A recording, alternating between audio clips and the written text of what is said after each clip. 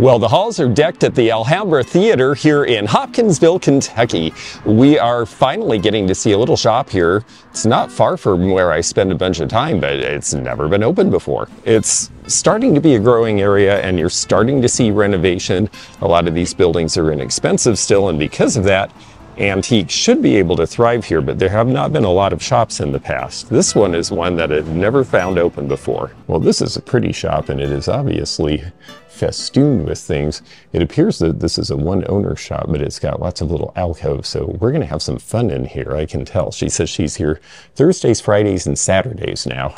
Very friendly, nice lady here. $85 on this stained glass. That looks like an English piece. I like the bohemian cut lamp here as well. That one is priced at 100. There's a nice little toothpick cut here. And what's your name? Oh, Oh, well, very good. Thank you. You're Catherine? Yes. Oh, it's great to meet you. My name is I'm George. George, George Washington. That's right. well, here we are. Let's see what else they've got in stock.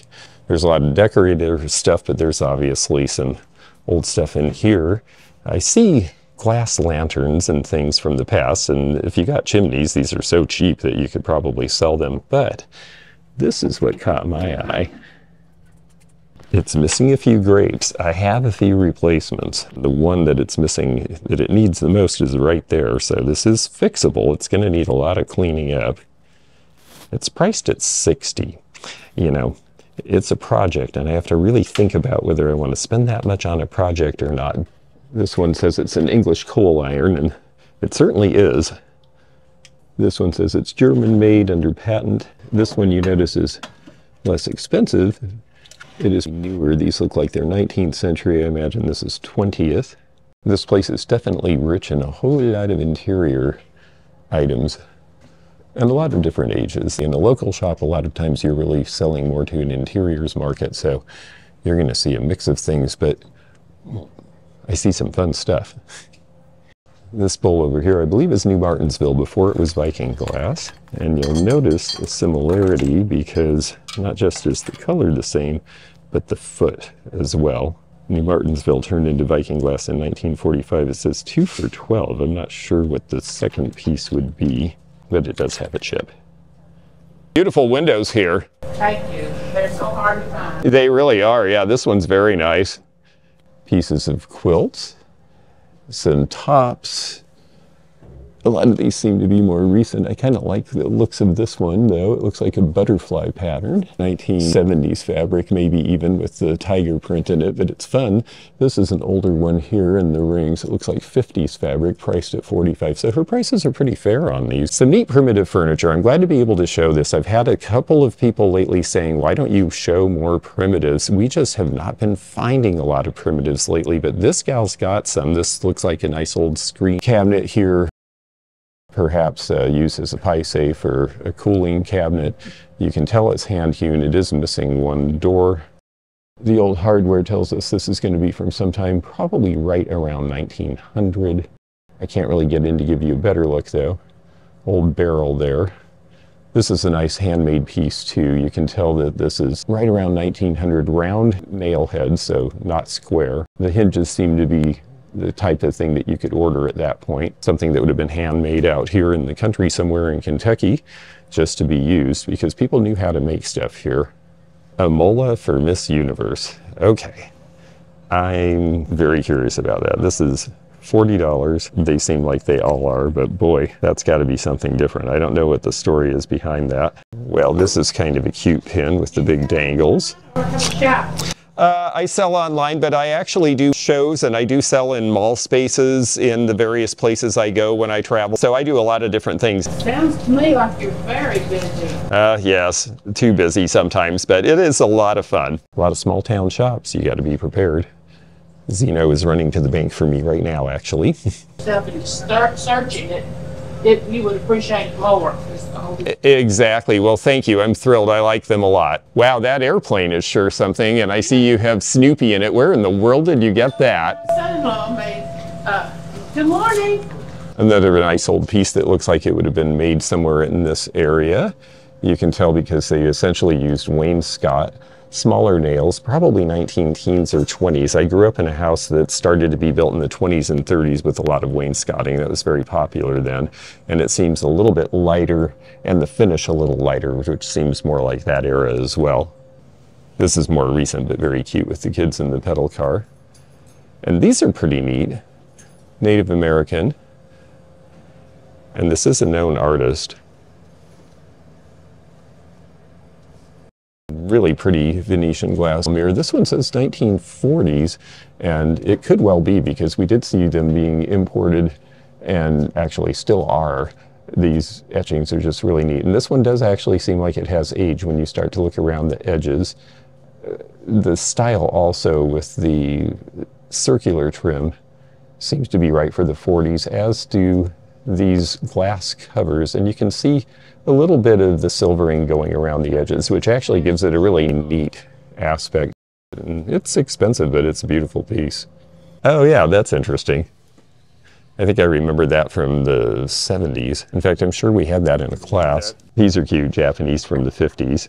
I'm not sure what you're supposed to do with them. Use them as little ashtrays or nut dishes? You put your chopsticks. You could put your chopsticks on them, sure, in the Mexican restaurant, yes. A dollar each. I really do like this too.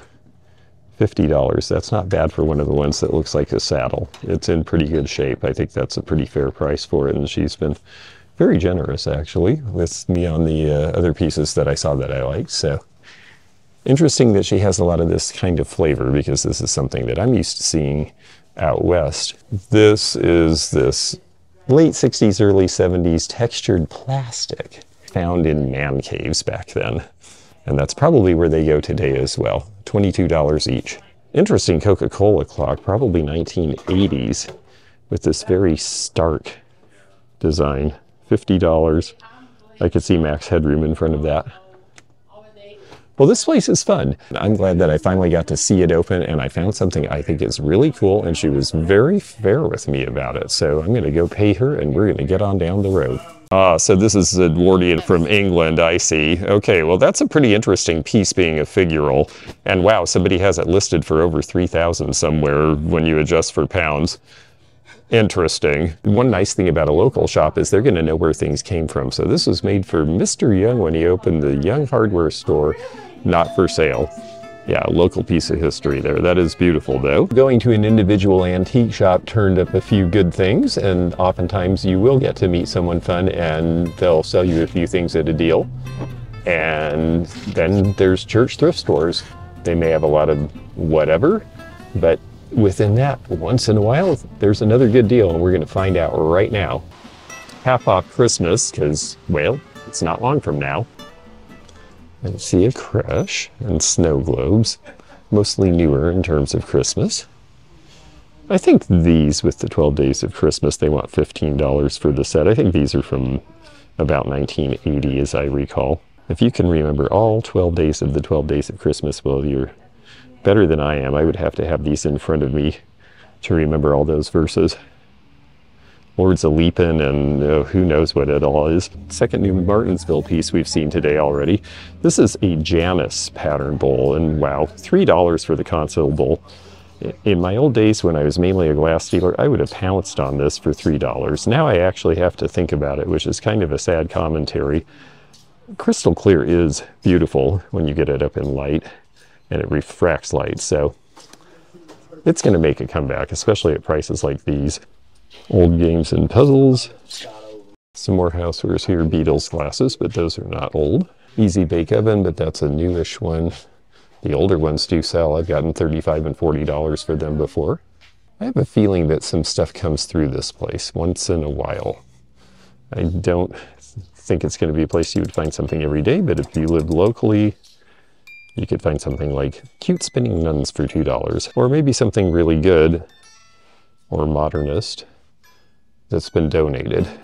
This place has been here for a long time. This was Butler Furniture back in the old days, and now it is an antique store. Also now at this point from the old days, I like the old signs. The furniture out here, obviously, they don't care too much about because it's getting a nice wash. Some things can take it, like those old mirrors there. Some things maybe a little less so. But I think they get this stuff really, really cheap, and this place is a pile, but you might find something in all these sticks, so we're gonna take a look. I've only been in here once or twice. This is an old time, family run, old school, packed store with whatever has been piled on whatever for years and years and years. You don't see a lot like this. Thank God today. Just lost him because he went in the back room there, but one of the Butler descendants is running the shop today and he said to just take a look around and have fun. They're going to price stuff when they get to it. Some will be priced, some won't. A whole box of crystals. See, an old shop like this is a great place to come and find things you might need, bits and parts for other things and repairs you're doing. Nice cedar box for $10, one of those candy boxes from the 1920s. Obviously, stuff is piled deep in here, so, you know, there's a lot of common stuff that you're not going to want to go digging through, but at least it's up where you can see it, and there's going to be some things in here that might just be up your alley. There definitely are some collectible things and some newer things and a whole lot of things that are hard to get to and a lot of very ordinary things. But then look at those great old thermometers up on the wall there. Dad's Root Beer and NuGrape and Suncrest. There's a Dr. Pepper. They're not in great shape, but they are cool to look at. This cabinet is neat. The Chamber of Commerce presents the job makers, and it says that it's been sold, like the old Pepsi thermometer especially. That one's in the best shape. Little bit of taxidermy condition, mm, maybe of some question. And yes, it is literally piled, piled, piled in here. The Coke machine seems to still work and be in use. This is 1970s Arcoroc pink. It's a little more peachy colored than the original Depression glass, so that's a good way to tell those apart. Stolen from the Holiday Inn, isn't that nice? For $2, I think we have a sale. oh, the iris and herringbone vase that we see quite a bit. At the price we used to see. These are actually kind of cute. They definitely have a modern feel. And they are the stereo speakers. They're a hundred a pair. That is probably a pretty decent price for those if they work. And then, hey, with the shade, this would sell where I go. It is Moriage. It is a very cheap souvenir from the 50s, but it's Florida with a flamingo, and I'm pretty sure I can get a shade for that. So believe it or not, I think I've got another purchase here. This is the fun of a place like this. You're probably not going to find the Hope Diamond, although you never know what might be buried in a place that's been piled like this for so long. But you might find a few cool things that you can make some money on and rescue from the pile. Lots of lamp and lighting parts back here. I guess we know what this place is. Salts and peppers and shot glasses and all the things you would expect. I like the bird. Let's take a look at this guy. It's a little favor vase, just small. It's only $3. You know, it was an American pottery, probably one of the small mom and pops. The glaze is similar to Royal Copley, but we may never know who did that piece there is just no telling who some producers of studio pottery or ceramics are because so many people made things at home and never took credit for them there's a ton of stuff in a place like this, and lots of it is going to be unknown and miscellaneous to us, but we are looking to ferret out the things that we find interesting and know our collectors will like. And speaking of liking, if you would like this video, that really helps us with YouTube. It lets us know that people like this kind of content, and please subscribe if you haven't, because that way you can click the bell to be notified of future videos, and we'll just have a lot of fun together. I like this radio here. It's white, a very basic color, but it's a neat old Motorola. It's got a good design. It's a clock radio.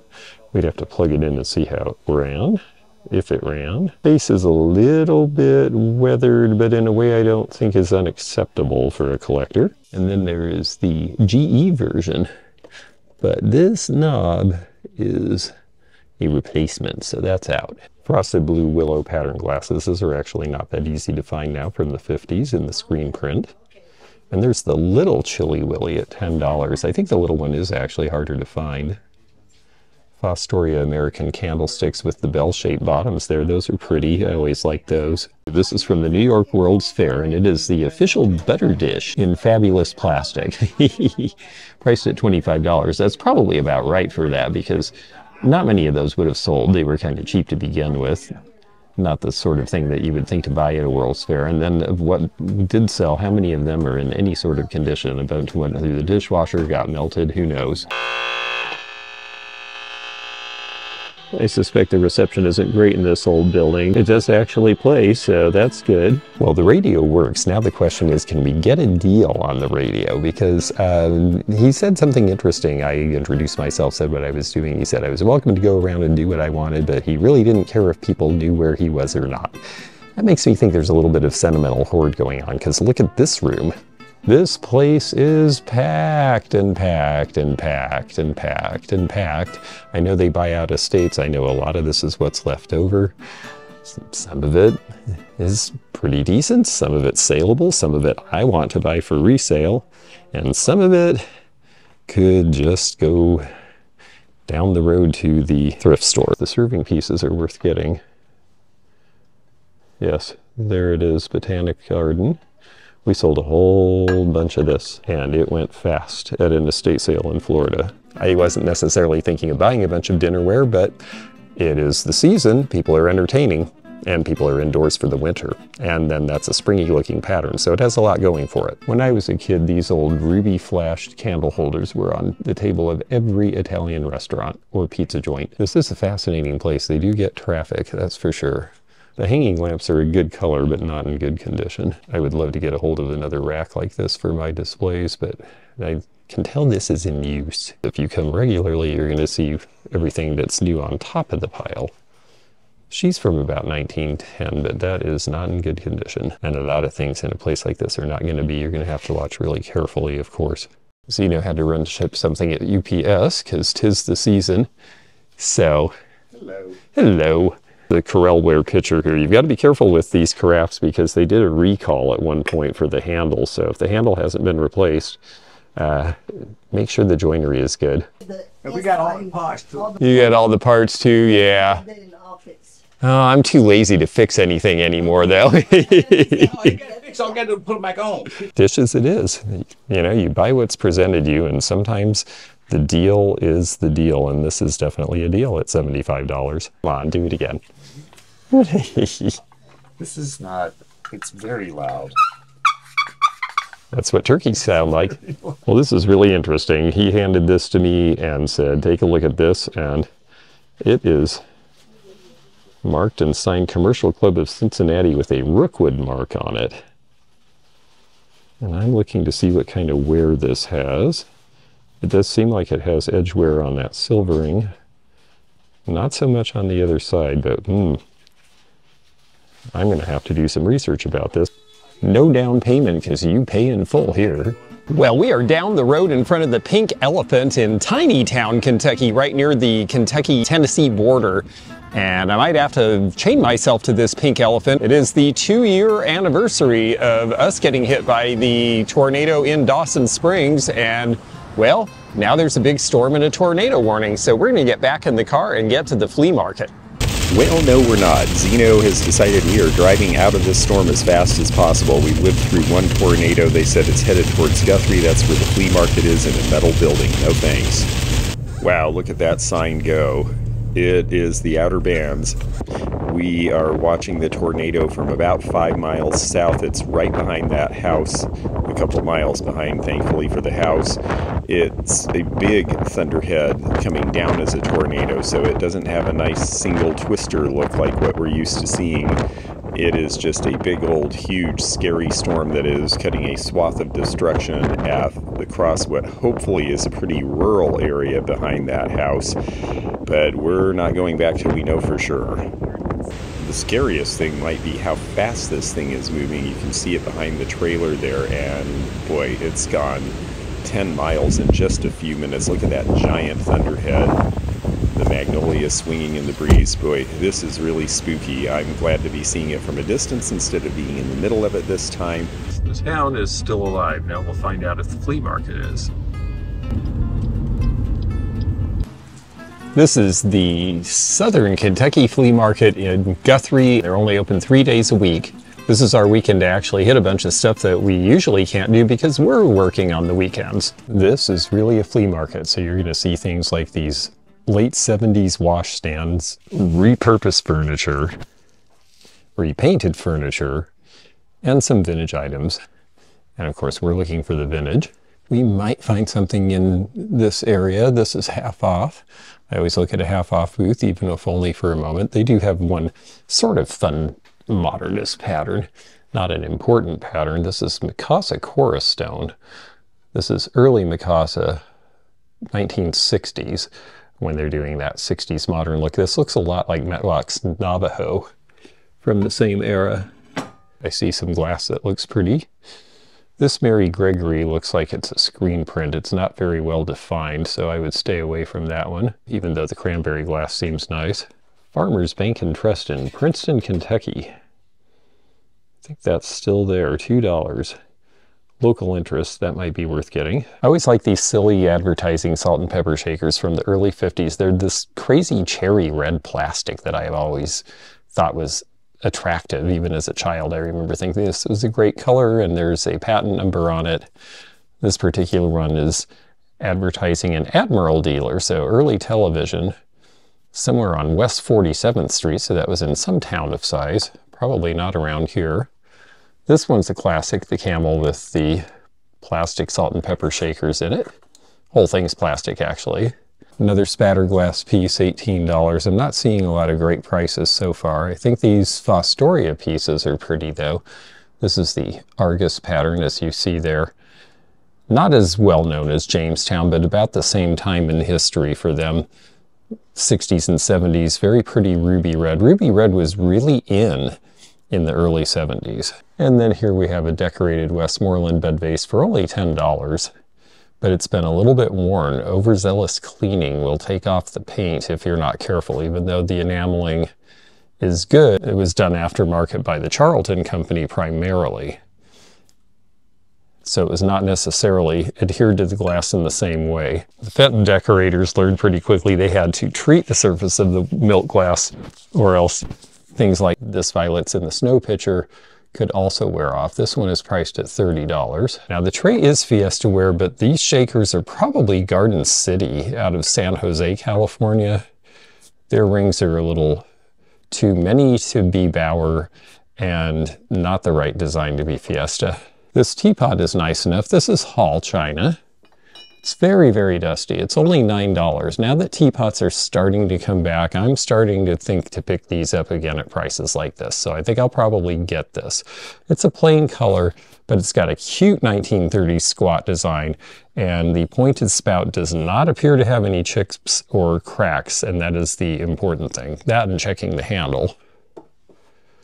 But I think that one, as cheap as it is, it's a nice color and would sell just fine. That handle being very deco rectangular and yet curved at the same time. It's just got a lot of geometry, reminds you a little bit of the shapes of the Trilon and Perisphere, the 1939 World's Fair in New York. This is Pilgrim Glass. It's $12. That's not a bad deal. I did have one of these. I did sell it, but it took me a while. But this one has the label, and the other one I had did not. And I do believe that Cranberry is going to start to match gray interiors more than it has sold during the times of earth tones. I don't like to be told what to do. Old Federal Glass Punch Bowl. This would be appropriate for the season. They've got 30 on the set.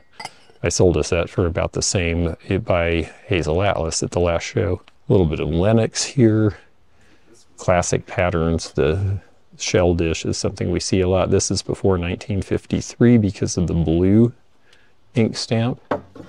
This piece also before 1953. 1850 and 1950, really the prices haven't changed in a long time. It's nice stuff, it's well done. It just has not been in step with a lot of people, but there are some fun modern designs like this one, which is priced at $9.50. This has the gold mark, so it is after 1953. Cable and grape carnival glass bowl is cute but $24 is pretty much full value on that. There's a bunch of the Metlox sculpted grape They also had a transferware pattern in grape. Poppy Trail by Metlox. 30% off will stop me for a minute at least, just to see, aha, Frankoma salt and pepper. These are cute. The teepees are good sellers. It's the Pulpa, so it's after 1969. 30% off would make these about $11, but this one has a little nick, so that is out. Cute wall pocket. 29 minus 30% is a good price. This basket, Westmoreland, now this has nice Charleton decoration and in good condition. And this one at 30% off is going to be $14.80. That is a possibility because I do think that's a $30 piece potentially. Zeno just pointed these out too. These are also Westmoreland blue satin candle holders. I always like the blue satin glass. It just sort of glows all by itself. These would also be $14 after the discount. And I did get 28 for the pair that I sold before, but it took me a while to find a home for them, so I'm not sure I'm going to go for those. How much is the McCoy piece? There's a chunk out of it, Oh, does it? They often do. but they're both the same price. Even the one that does not have a chunk, Really? fifteen dollars. Oh, $15 is a great price if it's in good shape. It's got this tape on it. Is that bad? Oh, not with McCoy, no, because that glaze is fine. It'll come right off. Wow, $15 for the one in good shape is actually good for that piece. And it says it seems very clean. I think we should get that. Bad. Yeah, that doesn't bother me. We can get that'll come off with steel wool. You want this? Nice. Yeah, I think I think you found something good. That face, $15 for him though. And I think that's what he would probably sell for, but he does have a great face. Well, Romer figures are pretty good. And now that I have discovered who they are, I am realizing that any of these Italian wood figures are worth looking for. This guy I suspect is from about 1980 because of the way milk is done on his jug here. That seems like the sort of generic print of that time. I like this guy. $18 seems like a good price, especially for a more complex figure that's on a base as opposed to just a single figure. That should sell for, I imagine, oh, maybe as much as 65 to $100. So we're going to get that and see how it does. This place certainly is bigger than it looks, so it's fun to get in here. These are the Hamm's Beer Bear, and they are 1973, $9.99 each. Ceramart, product of Brazil. I had a lot of fights with dealers who were bringing in things made by Ceramart around 1990 in the early 90s and trying to tell me they were vintage, and could not allow that, but now they are. Only $6 for the Franciscan Ivy salt and pepper shakers. The cork has fallen into that one. That is one problem. Old corks do shrivel. That's a pretty good price. These used to sell for about $20 when Ivy was a much more collectible pattern, but I think they would still double their money now. Blue and white kettle, but that's $75. I'm not really seeing those in stores very often at cheap prices. Here's another hall teapot from the 1930s, a little earlier in the 30s with all of this streamlining going on. It's the sundial pattern, and then they would do various decorations on it. Yellow is a color we see a lot. I think it's a cute color, and 24 is a fair price. Oh yes, an Afghan. A couple of them, uh, I think that was that was only fifteen. 15 really? Hmm. Yep. It doesn't seem very big though. No, it is bigger. Is it? There's one behind it too. This one back here is $10. Color. It's sort of a different look. It's not. That's not very big, or at least it's thin, maybe, and it's bigger, but it's thin. It's thin, yeah, it's more of a summer weight. I guess we do have to start distinguishing that too, because there are summer weight and winter weight and everything between, just like with quilts. It's cute enough. $10, yeah, I mean, it's certainly a good price. But we did just put out a whole huge stack to sell. Whether or not. I don't know. It seems like we have a lot right now. Peach tea set. Now, these are very, very lightweight, but these are Japanese from the 60s. Older than it looks. 16 for the set is You don't think Nice for a cute set. Vintage blue shoe. This is a McCoy piece. There's the Nelson McCoy mark on it. It's only $3, which is super cheap, but it's got a super chip. Well, we just heard another tornado warning and we're in a nice metal building, but they said that it's supposed to be about six miles away. So we're going to just stay put. Of all the pieces of Gonder pottery we see, this is the one we see the most. This was his utility flower vase that he could sell to the florist. It's $14 now. Good price on it. When I was a kid, this was the Moo Cow Creamer, and you poured cream out of it, and they sold it at the restaurants. It was by this outfit in Pennsylvania. Well, at a certain point, even though it still says patent pending on it, they must have figured out that they were not going to sell any more of these that way, and so they turned it into sippy straw. So this is the original sippy cup from the 1970s. It's 10 bucks. It looks like it's in perfect shape. I made my mother get the Moo Cow creamer for our table at home. In this case here, only $10. If this is in cleanable condition, $10 would not be a bad price. People always stored these flat so they would get covered with dust, which this one is, but I think it is just dust. We'll see if it zips properly. These were done in Japan in the late 60s, and I understand that some Avon representatives carried them at one point. 150 is more than I would even think to ask on the orange set, even though it's cool. This has damage at the bottom, so unfortunately I'm going to have to leave all of those, even though I like them. Sanders glass fairy lamp, a fairly basic one, but it is Indiana's Tiara line. It's a nice amber color, and my goodness, $17.95 and 20% off. I think I'm probably getting that. This is a very cute 1950s cake server for $17.95 minus 25%. Lock and lift, I always like these. If you're going somewhere with cakes for a holiday event, you might need something like that. It's only $13.50 with the discount. They're having a big sale in this booth and they have a lot of clocks and I like clocks. Especially if they are electric. This one's a little damaged, too bad because it says it works. This one's cute. General Electric, this looks very early 60s. And at half price, if that works, I would take that. I'm sure I can get more than the tag price. This would be great if this works, but it doesn't feel like it has any of its innards. So we'll just set that up there. These other ones are a little more dowdy. Wood is not always the easiest seller for me, and this one also has been converted to quartz. So I'm going to plug this one in, but we might have a winner here. These old record files are selling now because people want any sorts of drawers to put things in. It's got a cool old graphic, and this one's $10 with the discount. They took a bunch of old windows and made a showcase out of this, and I've always liked that idea. This is a nice old pink elephant ashtray in depression glass from the 30s. 2250 is a fair price these days. But what a great look that has. The owl bookends are cool, but they are not half off. I like the chip carving and the glass eyes. They're 30 for the set. And this is a flea market, so you're going to see all sorts of strange stuff. You're going to see new stuff. You're going to see used stuff. You're going to have dealers with tools. You're going to have people having essentially their garage sale here. But this one is half off and they have some cool looking things. So let's take a look. I love the color of the tape dispenser. I get why they think that's cool. Now these would be even better if they were cattails. But these days, anything with a gooseneck that works, and this one was made so it could hang. This is definitely 1960s vintage you want to make sure the gooseneck still works. That one works really well. This one's a little loose to one end, but it doesn't seem like it's broken loose. So you have to be careful because sometimes they get snapped at the base and then they're no good. 50% off. So I'm going to take it. Now this could be vintage. The elf driving the train. It is a bank. It's $11. This is late 70s. We see this Santa International Limited, eh, late 70s, early 80s, made in Taiwan.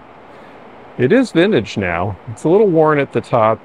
I probably should get it. I'm going to leave it for someone else. These are cute. These are 70s. They're almost like a paper mache, but they are actually a light ceramic. I believe Japanese made. They are $11 for the pair at half off. The footstool fan is $60 with the discount smoking stands missing too much. A popcorn panda. Well, I sold all my popcorn at my Christmas sales, so let's take a look at him. 25. Yeah. He's cute. He might sell for that. I don't know if you can hear that storm outside, but I might need this just to get to the car.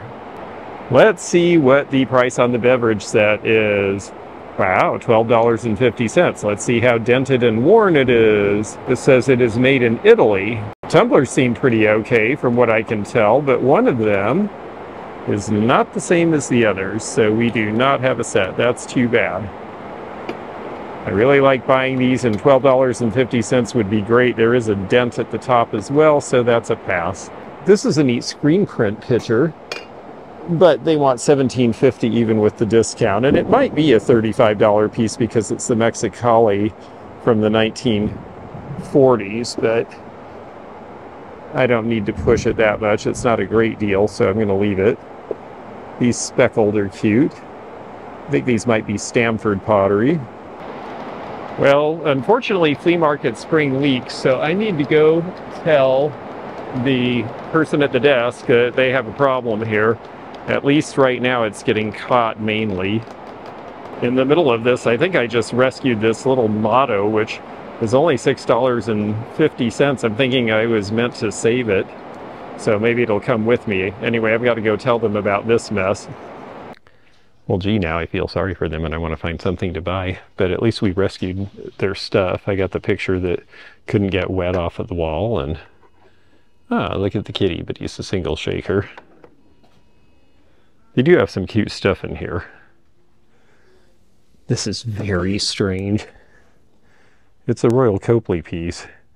A very odd cat doing something to this cowboy boot. It does not like this cowboy, apparently. It's scratching the heck out of it a cart full of novels. I think we'll just keep on moving. Somebody bought this piece of furniture, and it's a nice newer piece. We had an estate sale in Bethpage, Tennessee, not far from here, that had a lot of this kind of furniture from the early 1990s that looked like old American oak. Was very well made, but was not actually that old, but very good quality. And so I can see the worthiness of this piece, although it does look like they had to change one knob.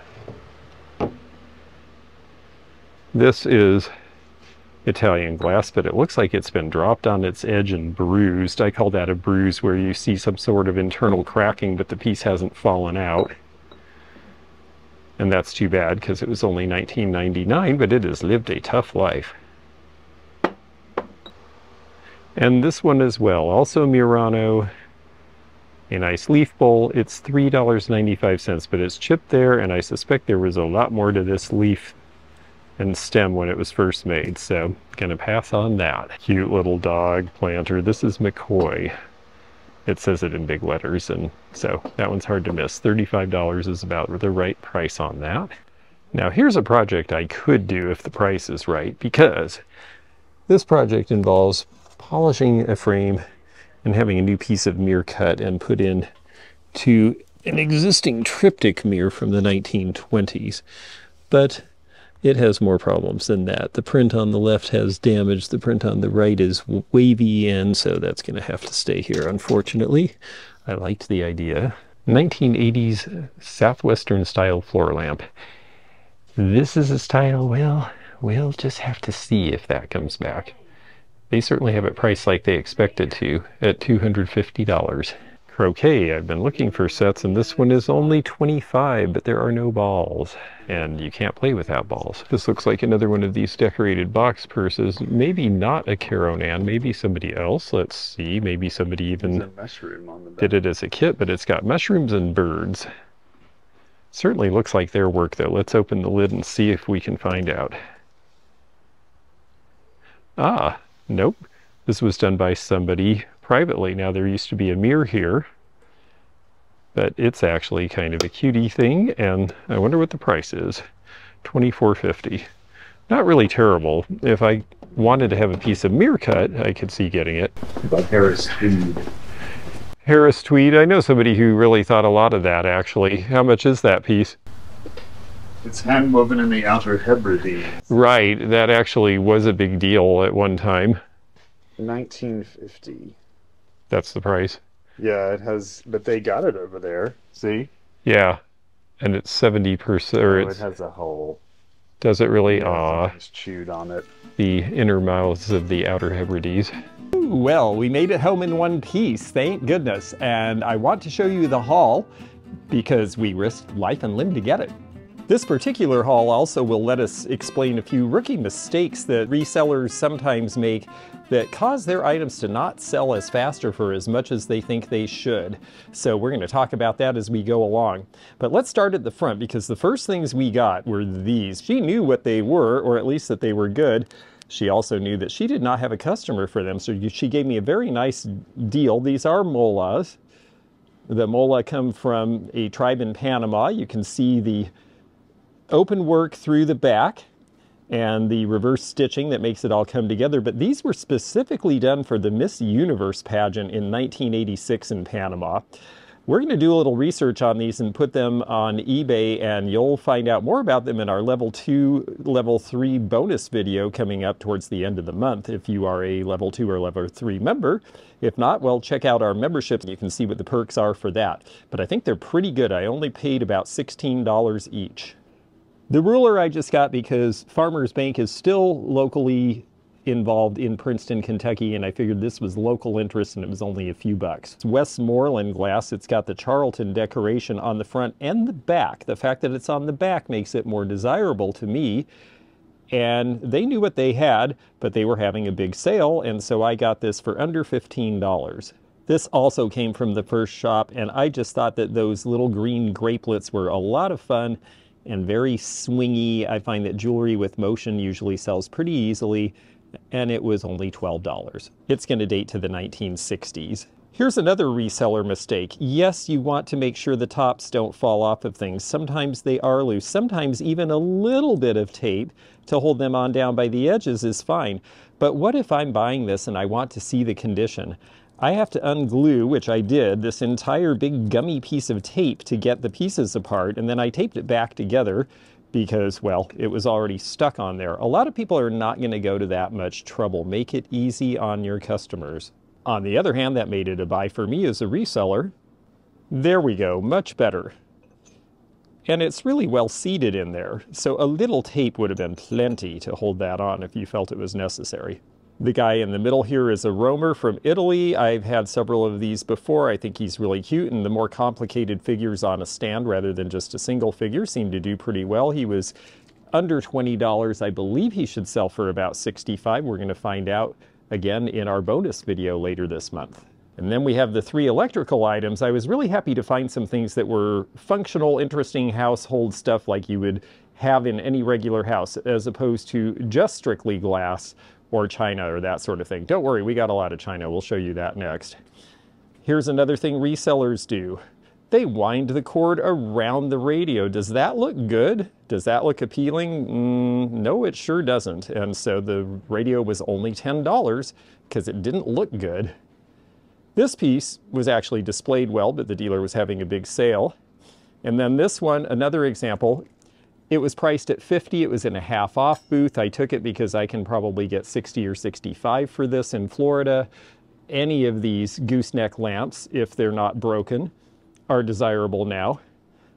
But how am I going to test this if I'm a customer and the cord is wrapped around it 50 times? I have to really want this item, which also was never cleaned or made presentable for resale. It was just stuck in there with the cord wrapped around it. Well, no wonder it sat and never sold. I'm going to present it properly, and I'll bet we sell it at the next show we do. And then the last big purchase was dinnerware, believe it or not. Portmeirion, most of this is botanic, although we did end up with a very appropriate holly and ivy jug of theirs. Portmeirion has been around a while, but they were really popular about 30 years ago. And because of that, a lot of people are still trying to match their sets. There's our Portmeirion logo, which states that the business has been there since 1816, but this is definitely one company where their more modern pattern has really turned out to be a popular collectible. I think perhaps because people knowing it's more recent, the sizes of the plates are more what people are used to now, that's microwavable, it's dishwasher safe. A lot of other older patterns are too, but I think people don't realize that. But this is one that they get it. And the prices are good on these, and that's why I paid $75 for this set. It has a few serving pieces. The casserole bowl there, that's worth somewhere in the 50 to $60 range by itself. The holly and ivy pitcher should be around 30. The cream and sugar should be in the 30 to 40 range. Some of these various coffee cups are more common than others, but some of the beakers, especially the slant side, are less so, and they can sell for some money. Plates are going for 25 to $30 each, and I believe I got eight. And then the bowls are going for about $20 each. The cereal bowls, maybe 15 each on uh, salads, and then the bread plates, maybe somewhere around 10. And those are pretty conservative prices, but you add all of that up, and I probably got $400 worth of dinnerware for 75 bucks, so I could not say no. Well, I hope you remain storm-free where you are, and in the meantime... If you enjoyed this video, check out this one. Also, click thumbs up to like this video, and check the description for information about our Patreon, our memberships. We've got a lot of different levels with different perks and bonus videos and early content. Also, please do check out our website, theantiquenomad.com for appraisal help, and we'll see you again for more adventures in the antique and vintage community soon. Bye for now.